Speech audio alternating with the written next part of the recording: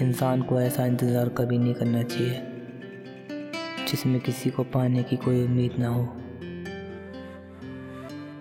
कुछ जख्म केवल निशान देकर चले जाते हैं, और कुछ जख्म बिना निशान दिए ही इंसान की ज़िंदगी में ठहर जाते हैं।